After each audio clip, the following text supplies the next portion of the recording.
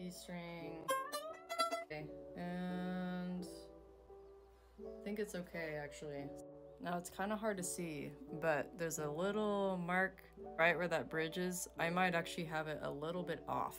But you can also take it to a luthier who knows what they're doing and they can tap that bridge to get it in the exact spot. I'm really, really close. I have it mostly in tune.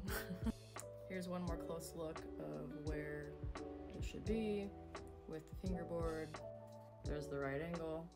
Also, if you look on the inside, you'll be able to see the sound post and it's just a little bit behind the bridge if I'm looking at this angle.